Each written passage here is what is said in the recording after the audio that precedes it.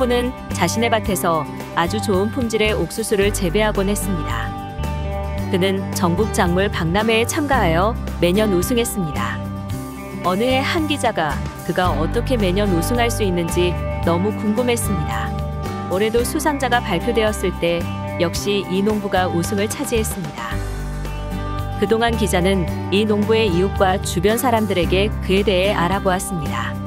그에 대해 알게 된 후에는 기자는 더욱더 그를 인터뷰하고 싶었습니다. 결과가 발표되자마자 기자는 제일 먼저 그에게 달려갔습니다. 먼저 우승을 축하드립니다. 그런데 어떻게 매년 우승을 할 수가 있나요?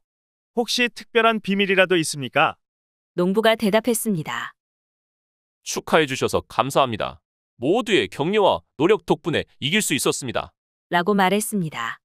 기자는 사실 제가 이웃과 주변 사람들에게 물어보았는데 매년 이웃과 다른 농부들에게 최고의 품질의 씨앗을 무료로 나눠주고 계시던데 왜 나눠주시는지 알 수 있을까요? 농부는 바람이 불면 잘 익은 옥수수 알갱이가 주변 밭으로 퍼집니다. 이웃 사람들이 품질이 좋지 않은 옥수수를 뿌리면 그 밭에서 나온 꽃가루 알갱이도 내 밭에 흩어져 있을 것입니다. 그리고 교차 수분으로 인해 수년 후 내 작물의 질도 좋지 않게 될 것입니다. 그래서 좋은 옥수수를 재배하고 싶다면 먼저 이웃을 도와줘야 합니다. 라고 말했습니다.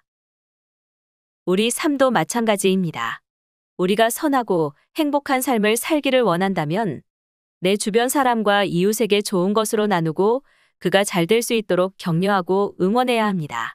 그러면 내 밭은 더욱 풍성해지고 최고의 열매만 얻게 될 것입니다. 시청해주셔서 감사합니다.